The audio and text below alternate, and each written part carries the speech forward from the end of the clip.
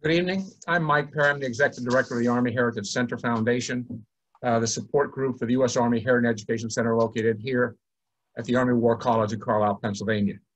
Tonight, we're pleased to have a very special guest, uh, David Schwind, who is a Navy officer, a retired Navy officer, and has served in assignments in Japan, Maryland, and Virginia. He earned a bachelor's degree from Regents College, State University of New York, and holds a master's degrees from the Naval Postgraduate School and the Navy War College. He's been a military historian and researcher for more than 25 years, specializing in the study of specific veterans and their roles in the important military events of the First and Second War. His specializations includes research of World War II Soviet veterans, as well as American Army and Navy veterans of both World War I and World War II. He has assisted counsel researchers and veterans' families in finding the military and service uh, history of former military personnel and their family members. Now I just have to get them onto the screen. There we go. Okay. We All right. Okay, David, the floor is now yours on a very unique topic. All right. Well, first off, let's go ahead and uh, share this screen. Let's hope that this, there we, okay. There we go. All right, can everyone see the screen now?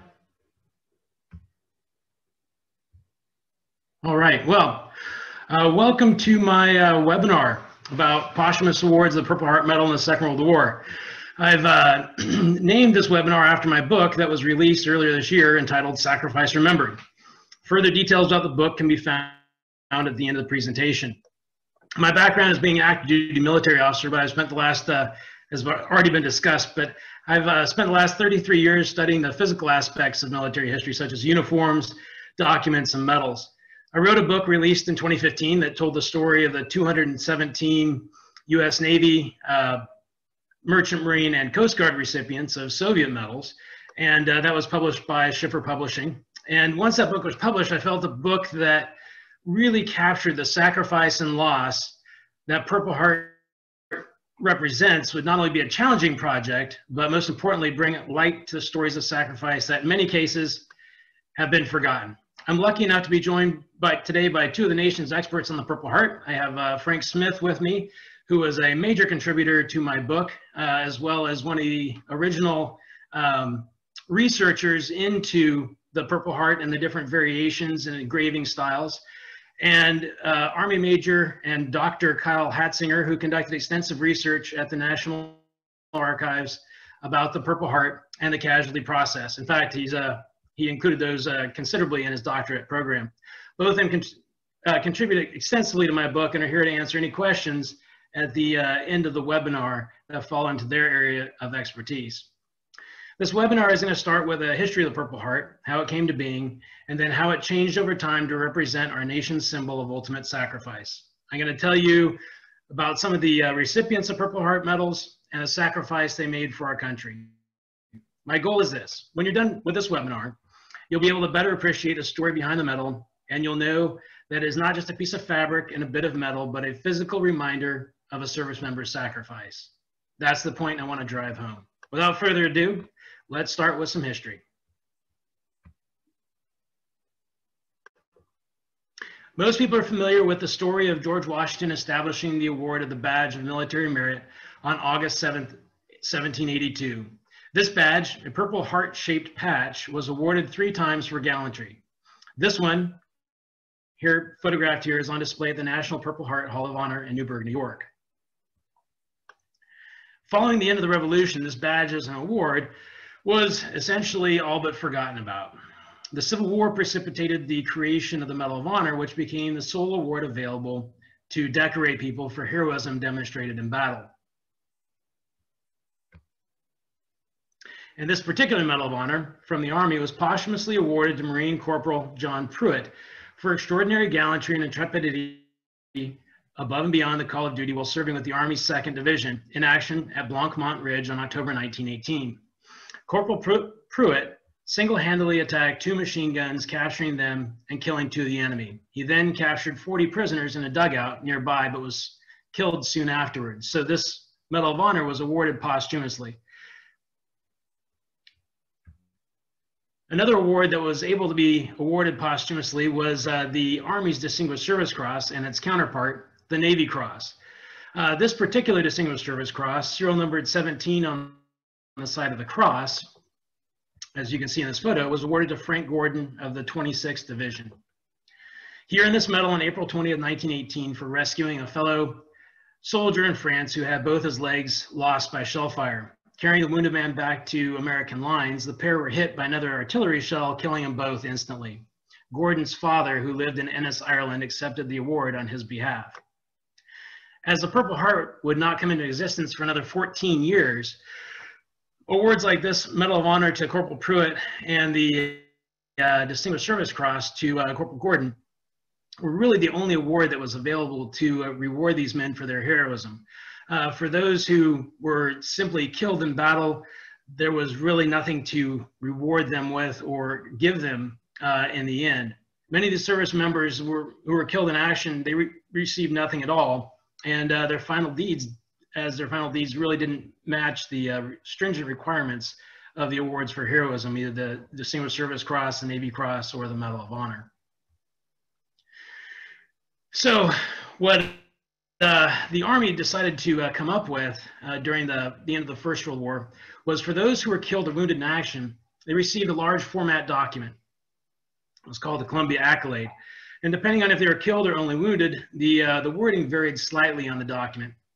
Uh, but the image of Columbia and the soldier who is kneeling uh, remained the same. This particular accolade that's pictured here in the webinar was earned by Howard Wilmot of Michigan, a private serving with the 325th Auxiliary Remount Depot. He died from disease on February 28, 1919, having never served overseas.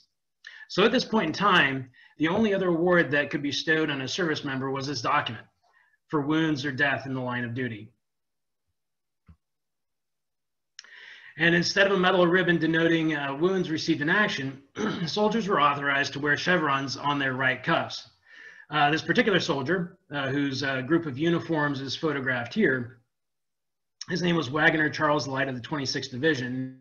He was wounded twice during the war, as can be seen by the two chevrons on the right cuff of his overcoat. Those on his left cuff, the three of them, indicate a year and a half of overseas service, very similar to the uh, service stripes worn on today's Army uniforms. With that background, two, two problems are really identified.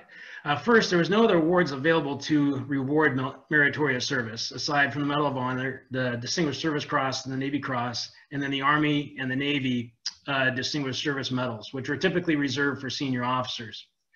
General Pershing had been made aware of this issue, and upon recommendation of his staff, created the Meritorious Service Citation Certificate, also called the MSCC, which one of which is photographed here. This particular one was awarded to Sergeant First Class Ross Rader, who was a railway engineer with the 59th Company Transportation Corps at the important logistics port, port of Brest.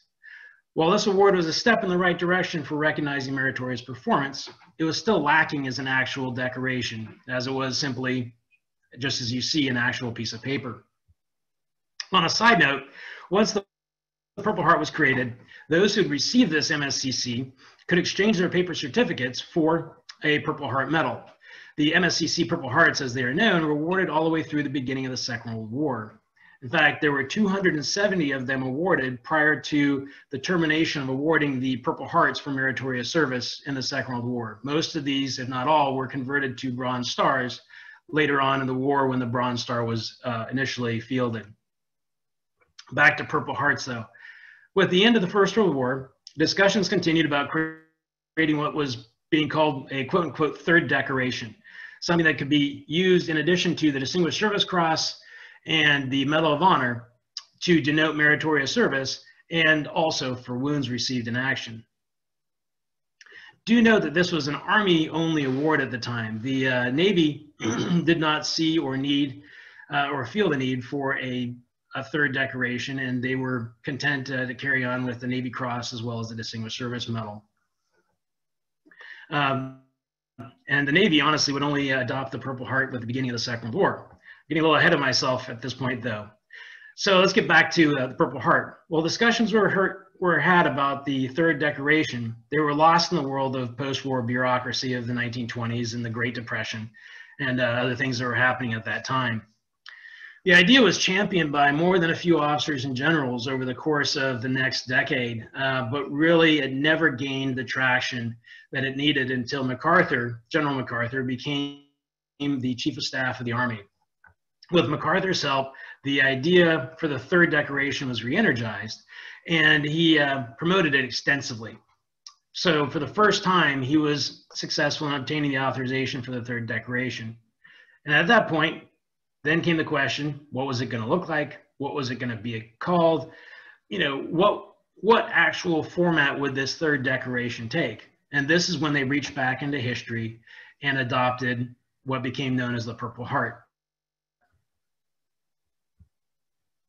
So this particular Purple Heart is of the initial contract of Purple Hearts that were awarded uh, initially in 1932. So in the 200 anniversary of George Washington's birth, which was February 22nd, 1932, the Purple Heart, as it was now known, um, even though it does still say keeps the words for military merit on the on the reverse, uh, became reality for the Army uh, under War Department General Order Number Three. And one of the requirements of this new medal was that it would be serial numbered. So General MacArthur, is is probably not surprising to most people, received serial number one. And as a side note, just for uh, just for people's knowledge, all uh, War Department, so all Army awards were required to be serial numbered up until 1943. So awards of the Purple Heart numbered all the way up into the 600,000 range have been seen. And in fact, here's an example of a uh, award of the Purple Heart, that the numbering on the side. This one in particular is uh, 483313. They're often kind of difficult to, to actually see without either a loupe or really close up photograph. So this new medal, the Purple Heart, was designed specifically for recognition not only of a special, especially meritorious service, but also for wounds received in action, going all the way back to the Civil War. So people who were wounded in the Civil War that were still alive in 1932 could actually apply for this medal. And that also included veterans of Puerto Rico, um, of the Indian Wars, etc., that had been wounded uh, during the, the course of those campaigns. Keep in mind that at this time, it was only, this was the only medal was, or the medal was still only for the Army and those that served under Army's command, like uh, Victor Bleasdale, whose medal is photographed here, a Marine officer who was earned two Silver Stars, the Navy Cross, and the Distinguished Service Cross, extremely heroic, uh, while serving with the Army's Second Division during World War One. This Purple Heart uh, is an early 1932 production Purple Heart and is the, in the collection of the National Museum of the Marine Corps. I've used this one as an example, uh, particularly because of the fact of just the condition and just showing essentially what how he received it originally in 1932. So this webinar um, is about posthumous awards of the Purple Heart. So awards that were made once someone was killed in action. And up to this point, they were not authorized for posthumous presentation. In fact, General MacArthur was vehemently against the awarding of the Purple Heart posthumously. In the quote on this slide, which he made during a radio address on June 27, 1938, he made his thoughts plainly known. And it is very clear when you read the quote. Um, it was only the Second World War that brought about a change in policy, leading to the Purple Heart becoming the symbol of sacrifice, and for many, the ultimate sacrifice.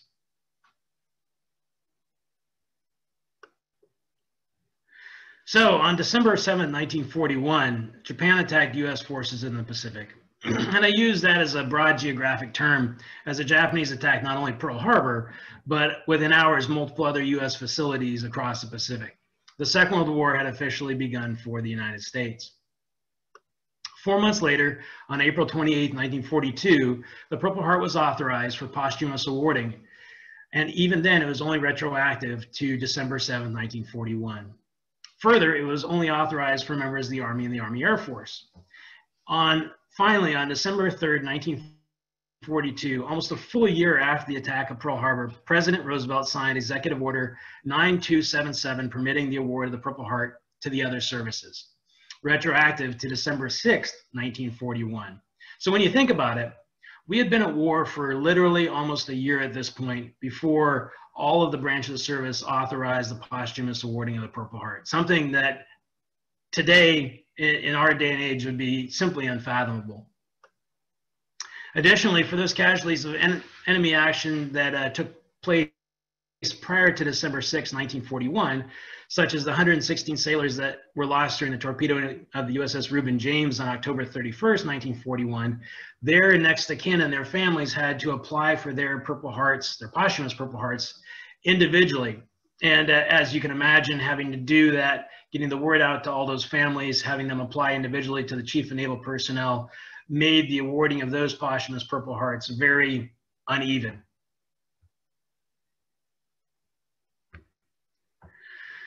So during the course of the Second World War, from, from December 7, 1941 through September 2, 1945, the United States lost a total of 407,316 personnel to all causes. So almost, almost a half a million, with the loss of 291,577 men and women from direct combat. The combat-related losses for the Army, which included the, uh, the Army Air Force at the time, contributed the greatest number of 234,874. The Navy's losses were 36,376, and the Marine Corps losses were 19,733. Finally, the Coast Guard lost a total of 574 personnel due to enemy action during the war. So represented here are Purple Hearts from each service branch. And you'll note that there's only one representative from the Army because the Army and the Army Air Force had the, uh, the same War Department Purple Hearts. So to talk a little bit about each one of these very briefly, uh, because just keep in mind, every time you see a Purple Heart in this presentation, it's not just a medal or a piece of fabric, but it really denotes the ultimate sacrifice that someone made for our country, as well as just a tremendous loss and a tremendous grief experienced by one family. Just the, the idea, being able to put that in words is even difficult. Uh, up in the upper left-hand corner, Seaman First Class Rupert Claire Gove was from Humboldt, California, and he joined the Navy on July 30th, 1940. Just over two months later, he reported to the USS Arizona, where he died on December 7, 1941. John Jarosz, who was representing the Army, was born in Massachusetts and enlisted in the Army on May 20th, 1942. He was part of Battery A of the 977th Field Artillery Battalion. They had fought at Anzio in the famed battle there in Italy. And on August 15, 1944, uh, during uh, Operation Dragoon, which was the invasion of the southern coast of France, they were about to land on Green Beach when their ship, LST-282, was struck by a German glider bomb. 21 of Battery A, to include John Jarosz, were killed in that action. In the lower left corner, motor machinist mate John Stanley Miesznikowski, I'm probably pronouncing that wrong, and I'm truly sorry about that, enlisted in the Coast Guard on February 18, 1941. Eventually joined the crew of the USS Leopold. He had been on board for just under four months when the ship was torpedoed. He was from Manhattan, New York, and had worked as a uh, tractor operator for a cemetery outside of Manhattan. After enlisting, he married a young lady from Ohio, and she was pregnant when his ship was torpedoed on March 9, 1944. Just a week later, she had a son who uh, would never know his father. In the lower right corner, Private Otto Newberry Boxley worked as a farmhand and a truck driver in Kaw, Oklahoma. He joined the Marine Corps on May 6, 1944, and landed in Okinawa on April 1, 1945. He was killed about two months later on June 7, 1945, by Japanese machine gun fire. Otto Boxley left behind a widow and also a young son. At that time, he was 28 years old. And here I'd just like to, uh, to pause and say these are just a handful of the nearly 2,000 Purple Hearts that I photographed in the uh, compiling and writing of my book, Sacrifice Remembered. Um, unfortunately, I couldn't in include them all, uh, which has been very difficult and taken up a vast amount of space, especially with a biography of, uh, of each recipient. But it was, and trying to, to determine who I should and should not include was extremely difficult because, as I've said before, each one of these represents a tremendous loss and the life of a, of, of a person um, so I did what basically what I could do, and I did my very best to research and record the histories of those who I did uh, include in the book in order to really honor the sacrifice that they made for their country. So what we're going to do, and since I only have an hour for this webinar, I've selected a handful of uh, Purple Hearts and uh, from each of the branches of the service, and we're going to talk about a little bit more in depth about who these guys were and what they did for their country and how they lost their lives and how what they did to really to earn a uh, Purple Heart. So first up is Ira Boswell Cheney, who is from El Monte, California. is actually really close to my hometown. Um, he uh, graduated from South Pasadena High School and attended Pasadena City College before attending West Point, graduating with the class of 1941. He was married for only a few short months and uh, before he shipped out for Manila, where a lot of his classmates were headed uh, in the early part of the 19 of the 1940s and even in the late 30s. Uh, he was a rifle platoon leader with the Philippine Division when the Japanese attacked, and he was killed in action near Abucay, uh, Bataan on January 30th, 1942. and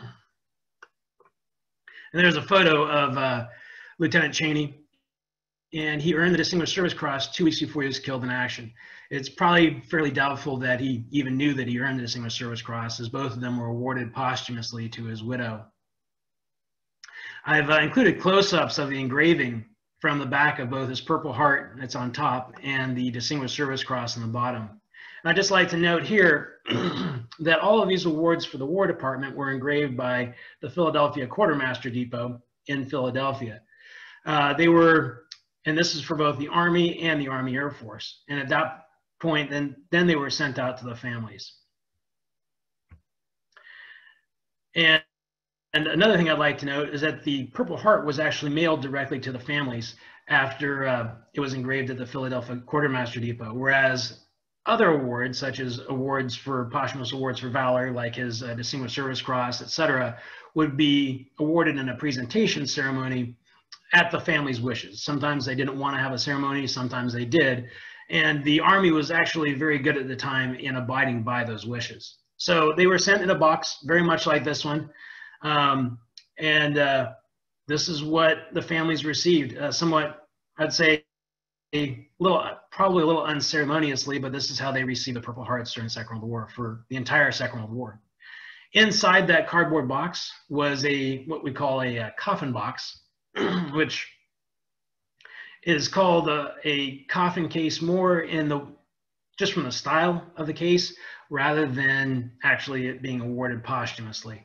So this is what it would look like when a family would open up the award uh, with the ribbon bar, a couple lengths of ribbon, the medal itself, and a lapel pin. Uh, the appearance of the Navy ones uh, awarded by the Navy Department, so for the Navy and the Marine Corps and also for the Coast Guard, were slightly different, but that's kind of outside the scope of this webinar, and I only have an hour. So I'd like to cover a few more, a few more recipients.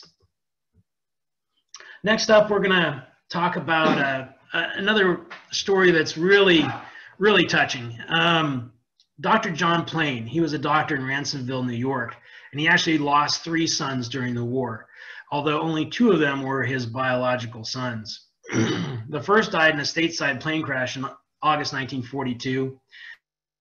And his next son, uh, serving in North Africa, was killed in January of 1943.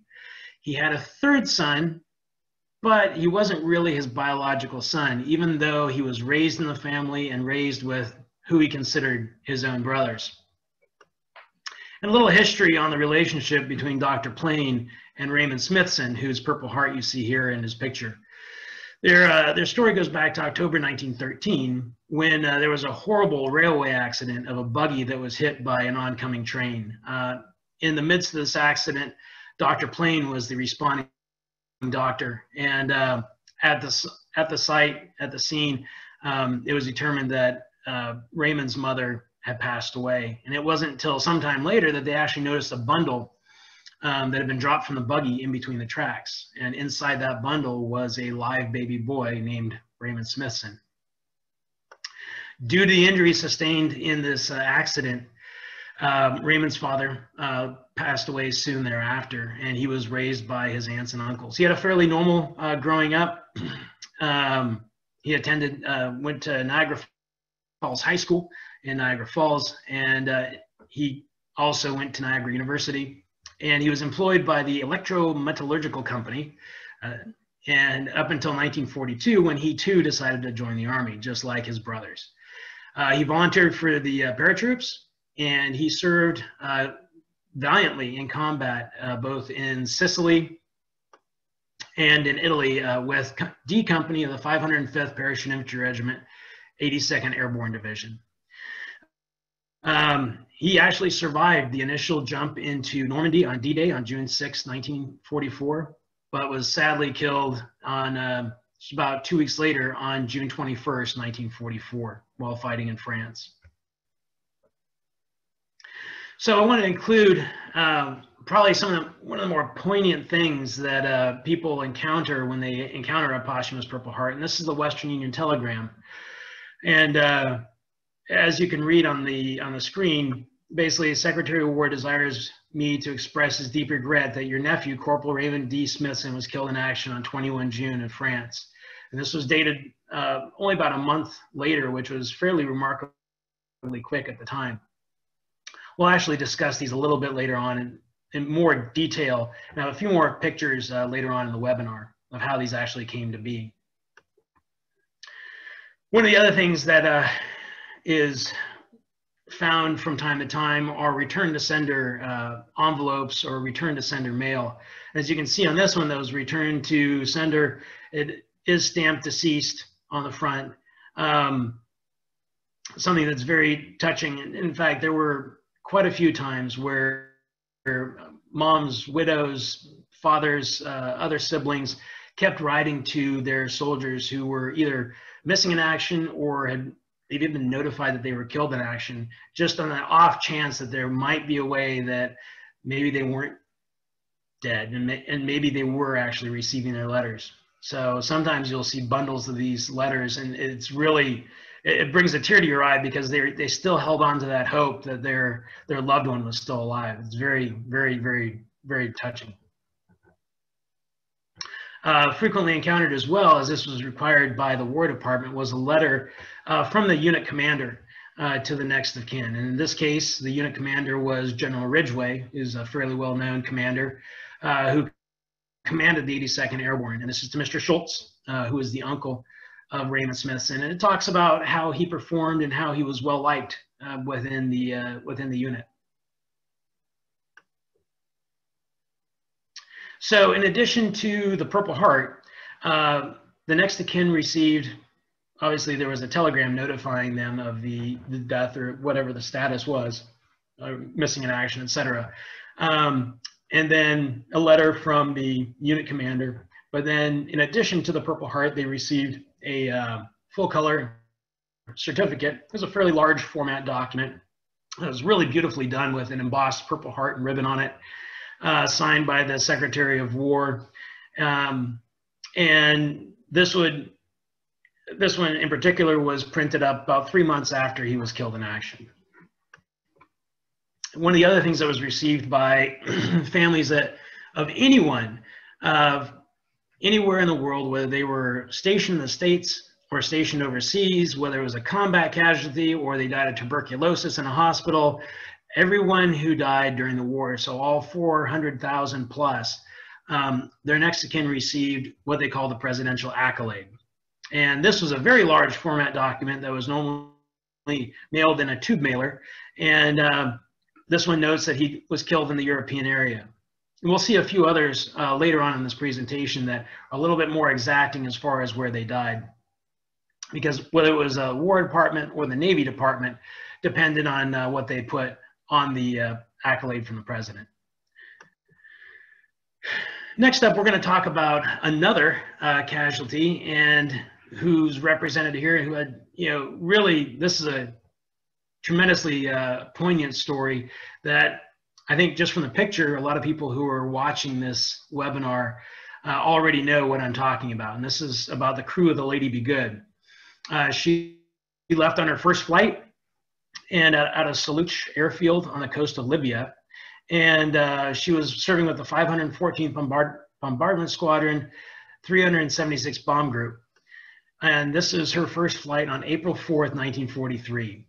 they left on an afternoon attack uh, on the harbor at Naples. And there were 25 aircraft that left in two waves in the raid, with the Lady Be Good being flown by First Lieutenant William J. Hatton as the pilot, uh, departing the airfield at 2.15. Well, there was a large dust storm, uh, that unexpected, that basically sent eight of the 12 aircraft from the first wave back. The Lady Be Good and four others, uh, I'm sorry, from the second wave back to the uh, airbase. The Lady Be Good and four others continued on to Naples, but upon their arrival, they discovered heavy anti-aircraft fire. And uh, so two of the aircraft attacked their secondary target, two of the aircraft jettisoned their bombs, and all the aircraft headed back to Soluch, Libya. Well, so they're still airborne just after midnight. So keep in mind that they actually took off at 2.15. So right now they've been in the plane flying uh, without refueling, as they couldn't refuel at the time, uh, for about 10 hours. And uh, Lieutenant Hatton radioed the base, and the base received a, a, call from him saying that his direction finder was not operational. And keep in mind, this is their very first operational combat mission. Uh, so they lit emergency locator flares for the aircraft, and the aircraft and Lieutenant Hatton and his crew never found them. So by 2 a.m., after 12 hours of flying, they were over 400 miles away from their base when they ran out of fuel and the crew parachuted to the ground. The Lady Be Good, the plane itself, uh, flew on for another 16 miles before landing by herself in the desert and crash landing in the Calanshio Sand Sea. And at that point, the crew were never heard from again. They were listed as missing in action, and their uh, their families were notified accordingly. Accordingly. It wasn't until uh, several years later that they were listed or changed their status to killed in action, and Purple Hearts were actually awarded to the crew. so quite a few years later, in 1958, a British uh, petroleum company exploration team looking for oil out in the desert discovered the uh, ruins of the lady or the wreck of the Lady Be Good and alerted the U.S. Air Force about it. So two years later, a joint Air Force and Army exploration team went looking for the crew. And what they found was was honestly heart wrenching and one of probably the most heart wrenching vignettes, as far as I know, from the uh, Second World War. They found a diary in the pocket of the co-pilot of the plane, and he really detailed their last days. Um, there's been several books written about this and many articles, and it's, uh, something that's very poignant and well worth reading about. And basically, once they had uh, parachuted from the plane, they discovered they had one canteen of water to share amongst the entire crew. So they decided they're going to walk north, and they figured they were fairly close to the base at that point. And over the next eight days, keep in mind this is in the middle of the desert, and eight days they went and crossed. They covered 81 miles, so about 10 miles a day, with one canteen of water that was they rationed, but they eventually ran out of water. So after uh, after that time, after 81 miles, they decided to split into several groups to go look for the base. Five of the crew stayed together to include Lieutenant Hatton, and that was where they were found uh, in 1960. To this day, one of the crews still remains unlocated. And so here's the Purple Heart that was earned by William Hatton. And you can see uh, in, the, in the crew picture over on the left-hand side, he's the first one as the lead pilot of the plane. He was born in Jersey City, New Jersey, but grew up in New York. And uh, he attended Francis Xavier High School in Manhattan and gra graduated from Fordham University in 1939. Excuse me. He worked as a salesman in New York City and uh, joined the National Guard as a private in September of 1940. Uh, with the start of the war, he uh, volunteered to become an aviation cadet, and upon uh, successful completion of flight school, he was commissioned in December 1942. Uh, the mission on April 4th, 1943 was his first operational combat mission. So after he was found, his, uh, his body was returned to his family and he's buried at the Mount St. Mary Cemetery in Queens, New York. Very, very touching story. Next up, we're going to talk about another uh, Army, Army aviator who, once again, um, he actually literally sacrificed his life for his crew. uh, and in the process uh, died doing it. Frederick uh, Todd was born in Massachusetts, but with his father as a naval aviator, Naval Academy class in 1907, uh, they moved to Long Beach, California, and uh, where he grew up. He joined the Air, Army Air Force and was sent overseas on November 11, 1944, and he served with the 713th Bomb Squadron, 448th Bomb Group of the 8th Air Force. So on March 25th, 1945, they flew a bombing mission to Buchen, Germany, and on that mission, he was flying a pilot. He was flying as the pilot of a B-24J uh, with the name of Eager One. They were over the target there in Germany when they were attacked by four Luftwaffe Me-262 jets. Uh, the jets damaged the upper gun turret, the waist guns, the tail, tail turret, and shot out one engine. So he had three engines, and at that point he decided there was no way they could return to their base in England. So he made a course for Malmo, Sweden, trying to avoid as many of the heavy flat concentration areas that were going up through northern Germany and Denmark. And they made it to within a mile of the Swedish coast before two of the engines out of the three that were operational began to run wild. Doing everything he could, he held the plane level and allowed the crew to bail out. But unfortunately, as the last one leaving the plane, he didn't make it. His uh, body wasn't found until 51 days later when he washed up on the shore of Sweden.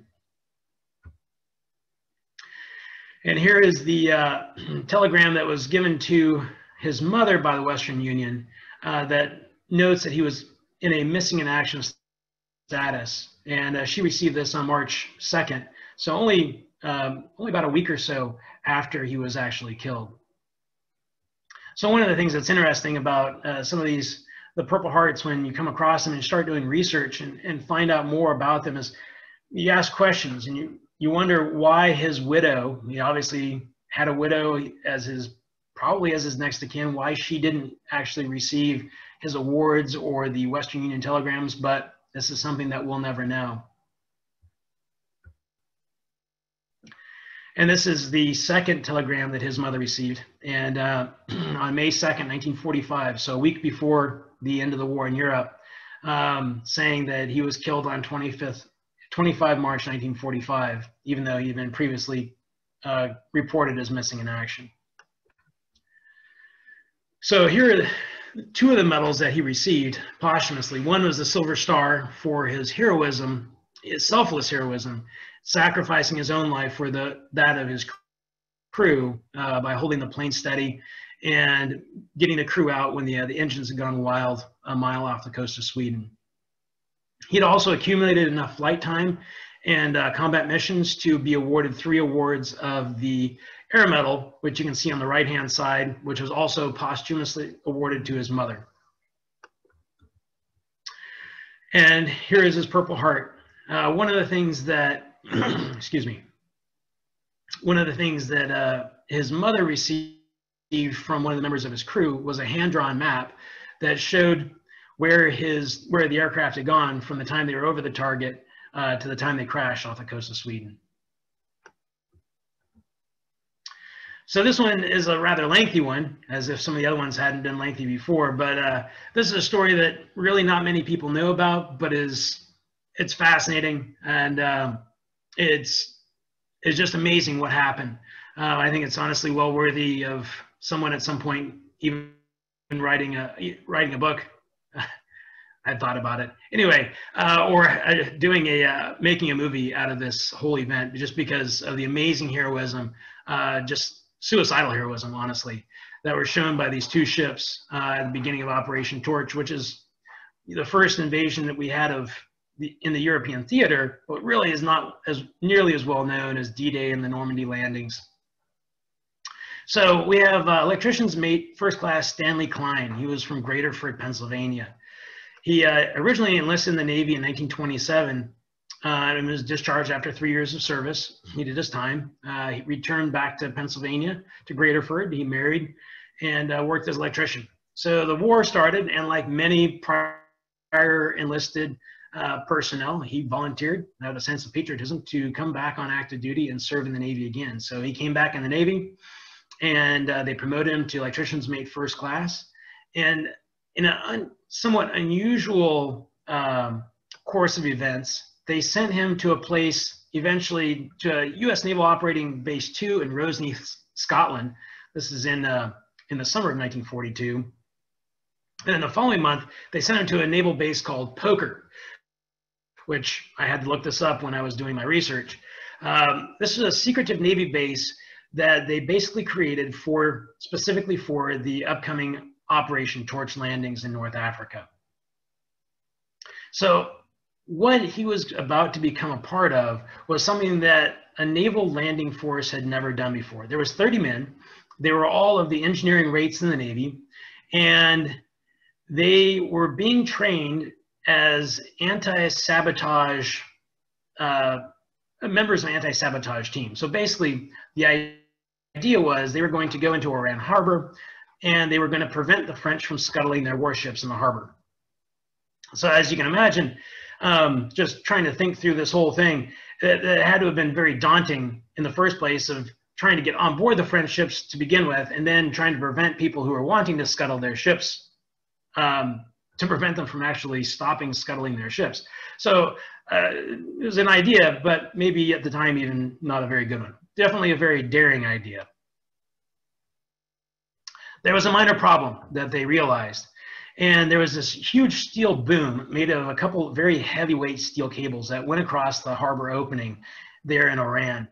And uh, everyone knew that if they just went and just drove a destroyer or drove even a larger ship into these cables, that the damage would be catastrophic. And basically the entire mission would be a failure at that point.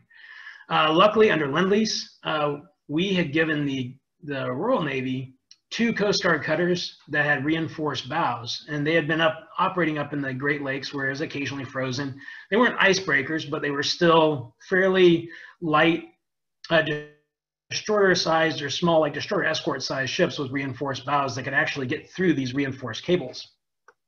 Now, these ships, being former Coast Guard cutters, uh, were very lightly armed, and they were the armor on board them was almost non-existent. It was it was the Coast Guard, and that was not what they were made to be.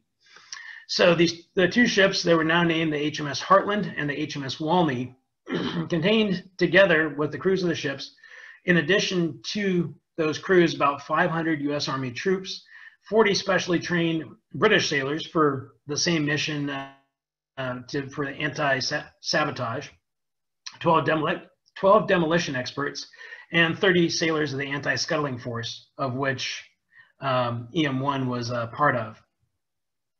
That anti-scuttling force, by the way, was on board the HMS Hartland. So in the darkness of H hour on November 8, 1942, the two ships with the Walney in the lead and the Hartland behind, uh, they made their run for the heavy cables at the opening of Oran Harbor. And things went bad. Things went really bad at that point. So an alarm sounded in the city, spotlights hit the ships. Basically, they lost the entire element of surprise. The, uh, the, the captain of the Walney decided decided to go and charge in anyway. And so the two ships went and charged through the opening and went into the harbor. Obviously, this was a it was a it was a bad idea, unfortunately. And as brave as it was, it was really brave. They were they were just really obliterated. The uh, French ships opened fire on them at point blank range, and the Hartland received a, uh, a round right through her main steam pipe, causing her to come to a complete stop. And so she was just pounded by the uh, French ships that were and the shore batteries that were right there. So fire started burning throughout the entire ship. And so people were running around, just chaos completely ensued on board the Hartland. And, and in the midst of this chaos, uh, you have these the men of the landing party that were in a separate compartment on board the ship. Just at that point in time, there was a 4.7 inch shell. So we're talking a pretty big shell, went right into the compartment and exploded. So not only did you have fire, flame, uh, asphyxiating fumes. Uh, you just had utter chaos in this compartment that was already packed to the gills with personnel. So um, EM1, he just had the presence of mind to be able to go and get through a small scuttle and he crawled along the deck um, underneath massive uh, fire from the French ships and found a larger scuttle where he started pulling people out left and right out of this compartment that was on fire. And he was able to rescue 42 men from both the landing party as well as uh, some of the other teams. And before he was killed in action, they never saw him again. He was blown over the side. And the next time they found him, uh, he surfaced behind a, uh, Royal Navy fleet auxiliary that was there in Oran Harbor on the 12th of November. Uh, and, the, and the Royal Navy, understanding where he had come from and uh, probably what he had lived through, uh, with you know true reverence for for his uh, for his body, covered him in the Union Jack, and uh, notified the American authorities. So, really, a very touching touching story. And and here's his posthumous Silver Star and Purple Heart they're awarded. They were they've obviously seen better days, um, but they're no less a testament to his heroism than uh, what you see here. And here's a close-up of his uh, Silver Star. And what the Navy Navy Department did is they actually hired uh, private engravers in uh, the Washington D.C. area to engrave their medals. So the engraving is fairly dramatically different from that of the Army. And on the right-hand side is the wreckage of the Hartland after she caught on fire and exploded eventually in the harbor. It was devastating. Uh, one last member of the Navy I'd like to talk about is Ensign Robert Glatt. He was uh, he was from New York, and he went to the Webb Institute of Naval Architecture, and he joined the Navy in 1941. They sent him to the Cavite Naval Yard in the Philippines, and he was serving as the assistant planning officer where he would plan uh, the maintenance of the ships there in the Navy Yard. As the Japanese attacked that December, his role became ever increasing um, in repairing ships, U.S. ships and submarines that were had been damaged by Japanese shell fire and bombs as the uh, Japanese invaded the, the Philippines. So eventually he made it to Corregidor, where he ended up working for the Army Transportation Service and uh, he was in charge of repairing boats and barges for transportation of both food, medical supplies, and ammunition around the island of Corregidor. Well, when the island of Corregidor fell, he was taken as a prisoner of war. Many of these prisoners, they survived the Bataan Death March, which I'm sure many of you have heard of, and uh, they were taken from the various prison camps in what they called the hell ships. And uh, there's about 134 Japanese merchant vessels that they used to transport 126 Allied prisoners of war, not just Americans, but British and others. And during these voyages, it is estimated about 3,600 Americans perished, and a further 700 who actually made it to Japan to work as slave labor in the Japanese war industry perished just from the effects of the uh, the voyages there. Because these voyages were were horrible. They were the prisoners were shoved into the lower holds of the ships where it was hot and there was no sanitary facilities. They received very little, if any, food, and uh, many times there was they were down there with coal, coal, horse manure, other things that had been transported in these lower holds, and the the passage from the Philippines to Japan lasted sometimes up to 70 days. So if you can just imagine, in just unbelievably 130, 100, and, you know, even 140 degree temperatures in the holds of these ships with massive amounts of humidity when they had already been sick and starving to begin with. It was just unfathomable.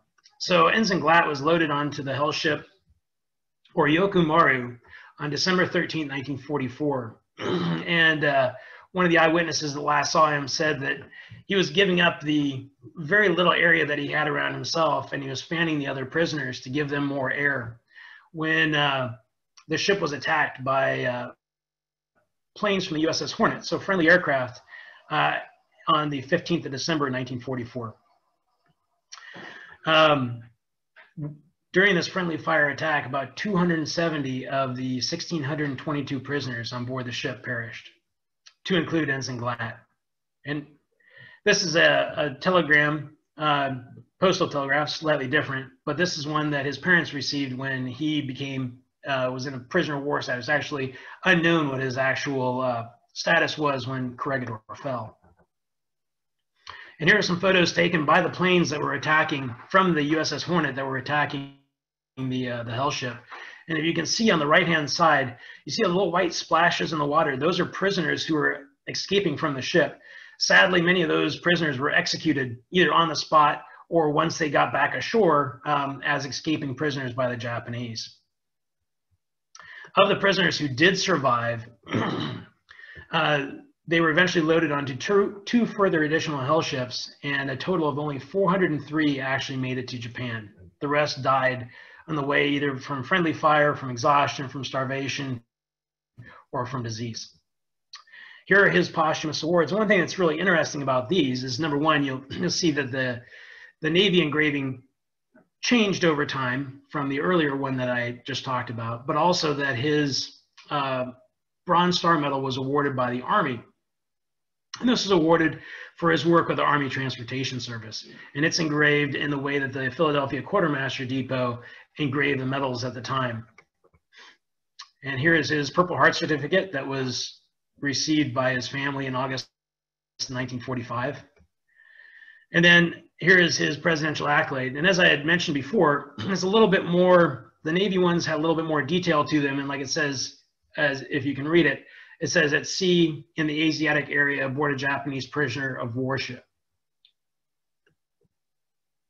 And here are the documents that came with the, uh, the Bronze Star Medal. What's interesting about this is that it took quite a while for the heroism that a lot of these prisoners of war demonstrated uh, to actually get out through investigations and, and so on. And so this one is actually the uh, Glatt's mother didn't receive this Bronze Star until May of 1947. Quite a quite a long time after the end of the war, and quite a, quite a while after he died.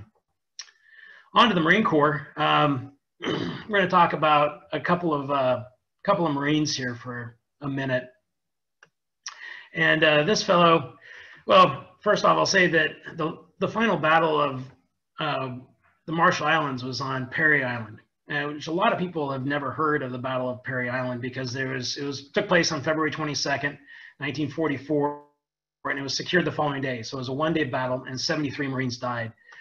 Um, Corporal Walter McKay was one of the, the 73 Marines that were killed during the battle. He was a radio operator with Headquarters Company, 2nd Battalion, 22nd Marines and uh, he was mortally wounded during the landings and posthumously awarded the Navy Cross.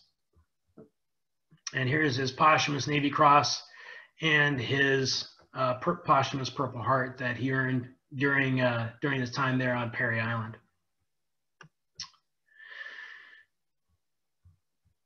Talk about one more Marine, um, and this guy, uh, Lieutenant Colonel, probably shouldn't refer to him as this guy, but Lieutenant Colonel Schultz here he is seeing this picture. Um, he was with his battalion staff. He was from Winona, Minnesota, but grew up in Corvallis, Oregon, and attended uh, Oregon State College lettering and football, graduating in 1936. He initially served in China, but then came back um, before the beginning of the war and was a company commander for an officer candidate company, and before returning to the fleet in 1943.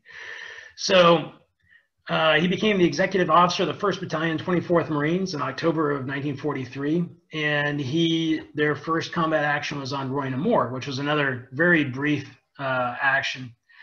Uh, his uh, battalion commander was killed during that action, and he took command of the battalion. so his first invasion as a battalion commander was that of Saipan.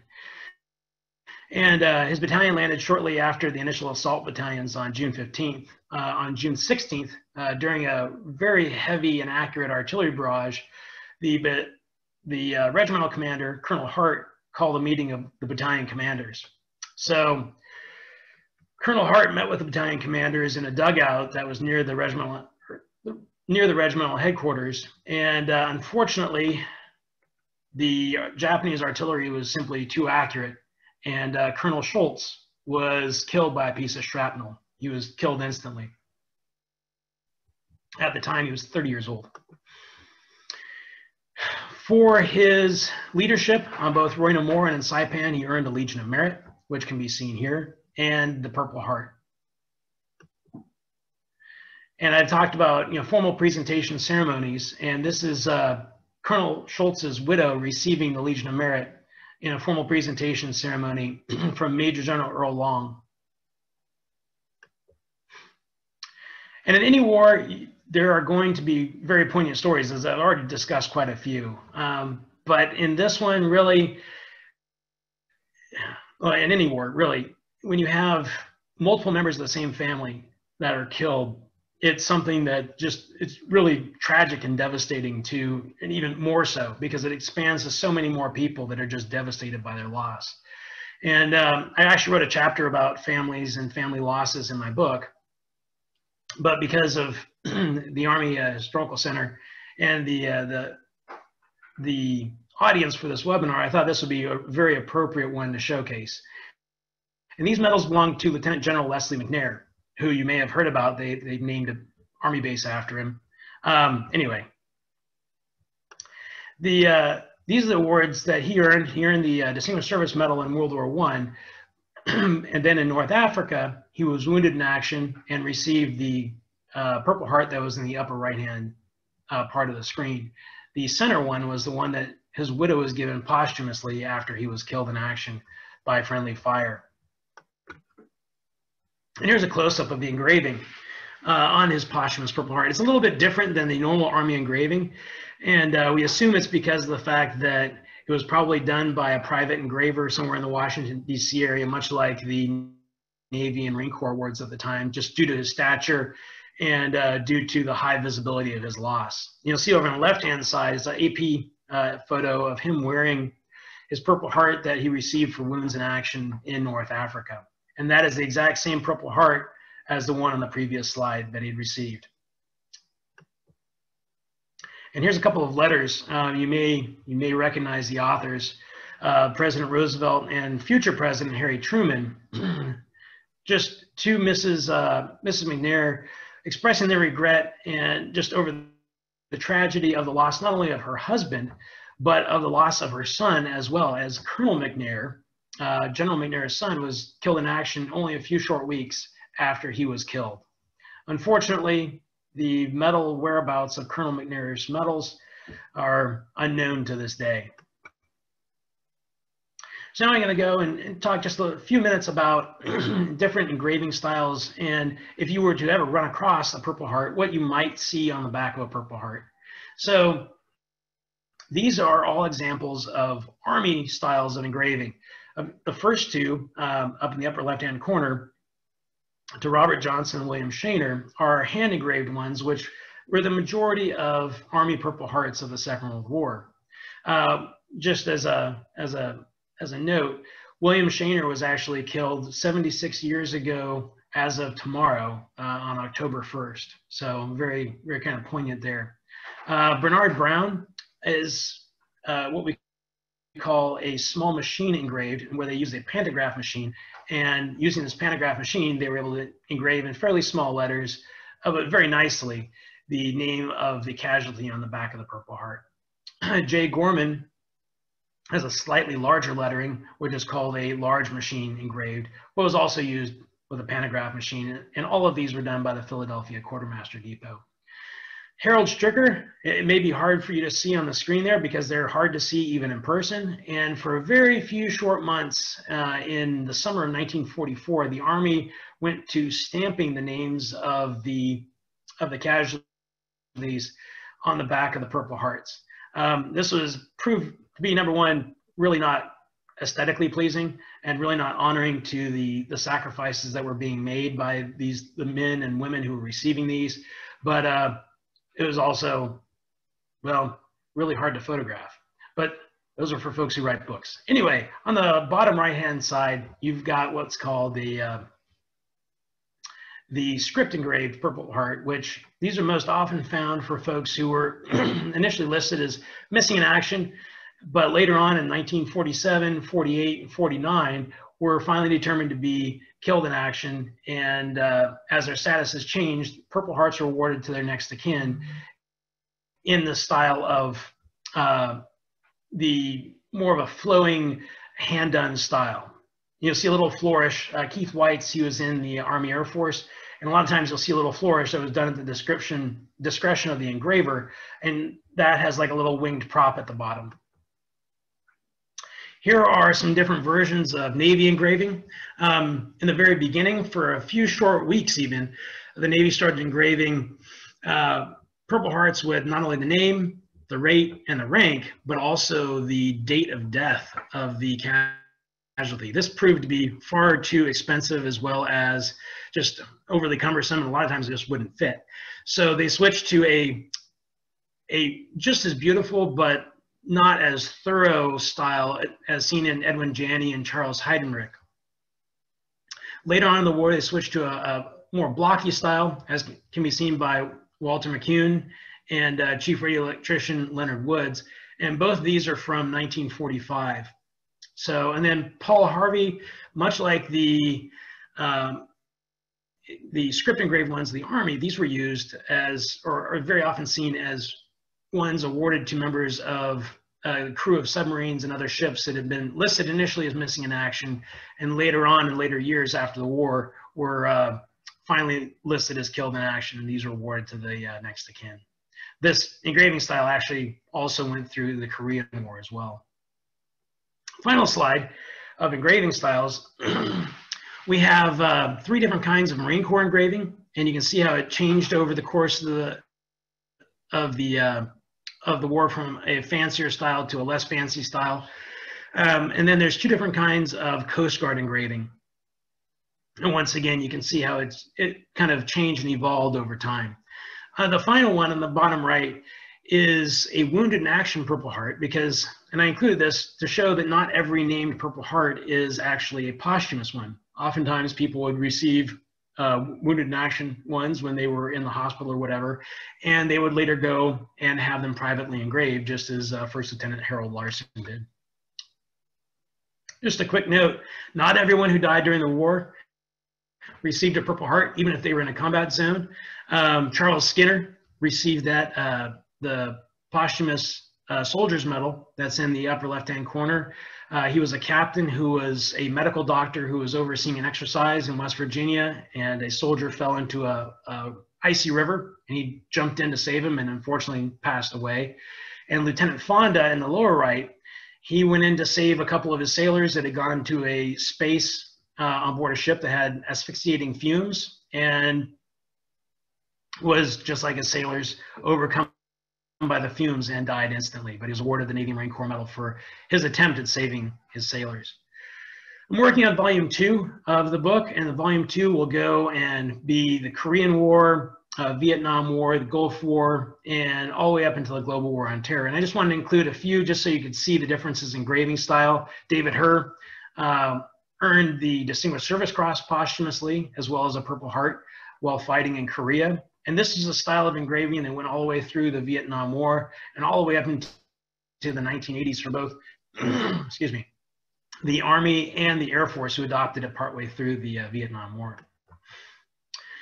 Jimmy Hawes, uh, he was one of the very few casualties of the first Gulf War, and uh, he was a uh, in a Vulcan uh, fighting vehicle and was killed on the 20th of February of 1991. So um, this is a very different style of engraving. Uh, that's much more of a serif style of engraving um, rather than the, the plain machine engraving that was seen from earlier Purple Hearts. And finally, from the Global War on Terror, First Lieutenant Daren Hidalgo, uh, he was killed in action on the 20th of February of 2011 in the Kandahar province when his uh, insurgents attacked his unit with an IED. And uh, he was a 2009 West Point graduate. So, as following in a long line of uh, West Point graduates, his father was a West Point graduate, as was his brother. And just very quickly, because I know I'm kind of over the designated time at this point, but I'd like to talk to the casualty process and just show you a few pictures of how it worked because there was all one side was the medals and one side was the actual human side of how the casualties were processed, which is something that's really interesting in and of itself. So the casualties would be gathered together in a central station and their, their personal items would be inventoried and those would be sent back to the states to be finally given to the next of kin. And then the casualties would then be buried in temporary burial locations wherever fairly close to where they fell. This, in this case, on the uh, black sands of Iwo Jima.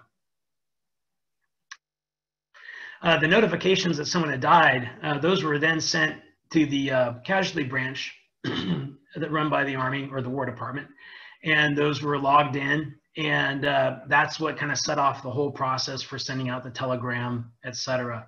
One of the things that I pointed out earlier on was the, uh, the return to sender mail, and the War Department would go through all the letters that were marked return to sender to make sure that they matched up with casualty notifications so that a next to kin would not receive a return to sender letter prior to being officially notified by the War Department.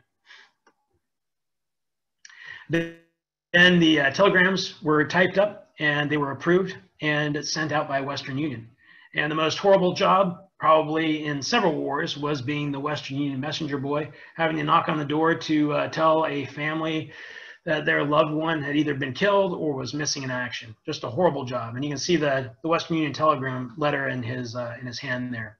and here's an image of the Western Union telegram. And it was going to a Mr. Jack Johnson who lost uh, actually both of his sons during the war, one in a flight accident in the States and the other one over Italy in December of 1943.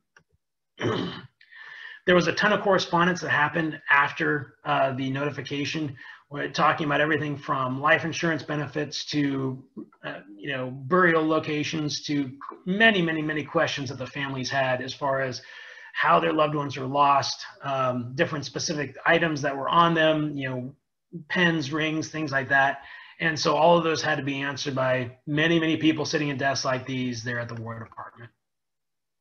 Finally, from 1946 to 1951, the government uh, conducted the process of repatriation, where they brought back 171,000 casualties um, to the United States from many, just from hundreds of different locations all over the world.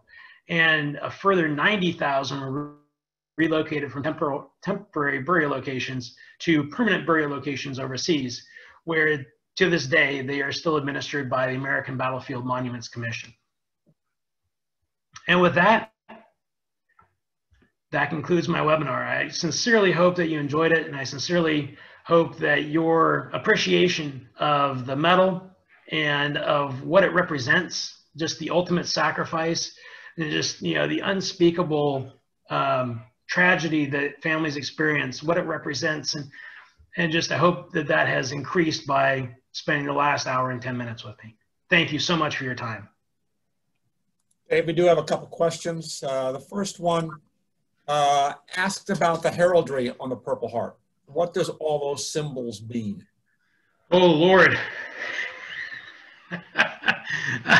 We're going to be here for a, for a while, but uh, okay, I'll take a stab at this because I was completely not prepared for this question. Okay. But uh, obviously, you have the head of George Washington, which is right there in gilt on the front, and then that is on top of a uh, a, either a plastic or a enameled uh, Purple Heart uh, center. And then of course that's on top of the actual planchet.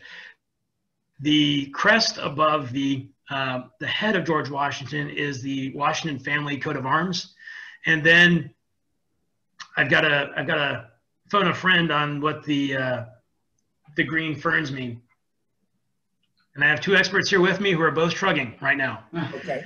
I wish I could tell you. Um, just one thing on on the cover of the book that's visible right now. That's a gold star pin, which I didn't cover in this seminar, which basically is worn by the family, the next of kin of someone who's killed in action, and um, is kind of a ubiquitous sign of someone who was lost in combat from World War II to the present day.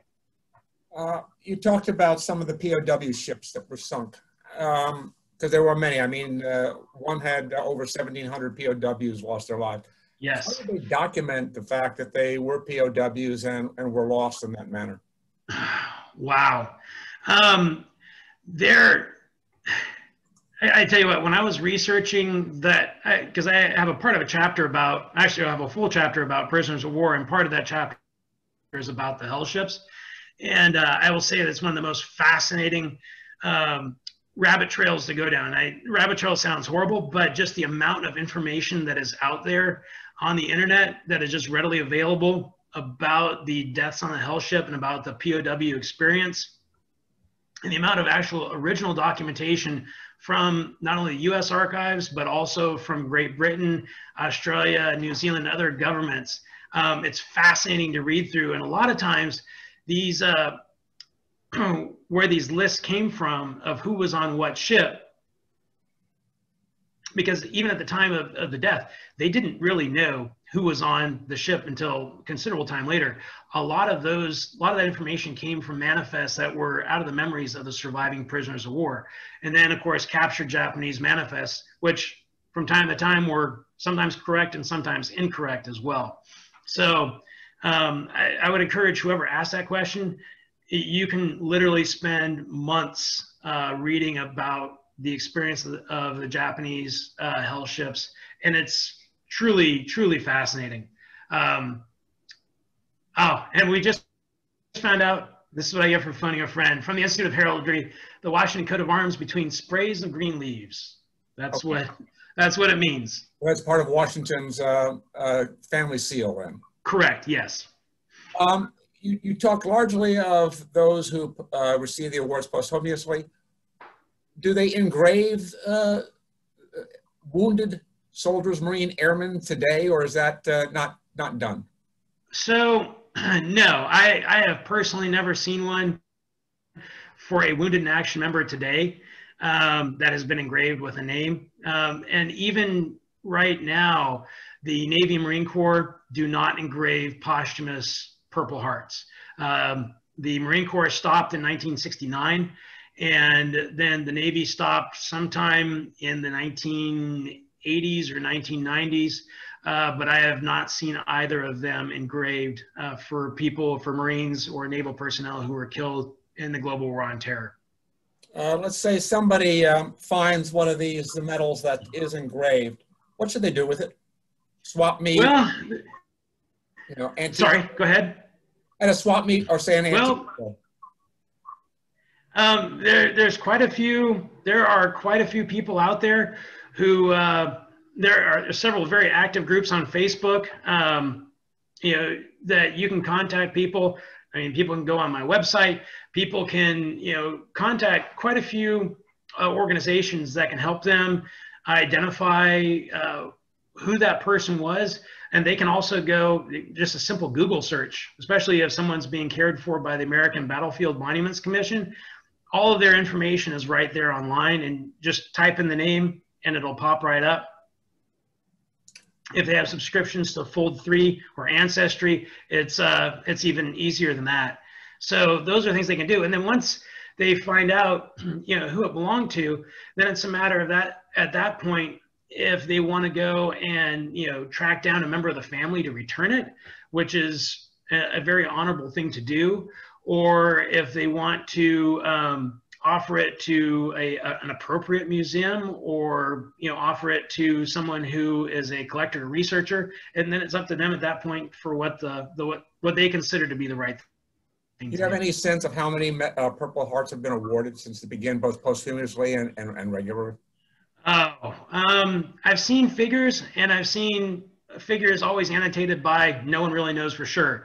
But the figures I've seen are anywhere between 1.2 and 1.7 million Purple Hearts. Anything Both else? wounded in action and posthumous. Anything else, you, anything else you'd like to add? Oh, for me, it, honestly, this was this putting this book together was an, both an honor and a privilege, um, and being able to document a lot of these guys who were quite honestly uh, been forgotten about over time uh, as their families died off, their parents died, uh, you know, sole remaining children passed away. And uh, being able to go and, and, honor them by writing about them and researching them and you know putting them between the pages of a hardcover book so that way many people can read about them and remember them that to me was probably one of the greatest privileges I'll ever have.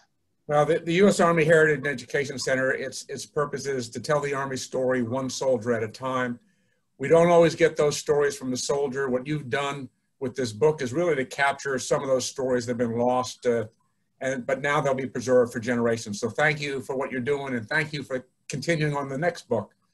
Thank and, you. Uh,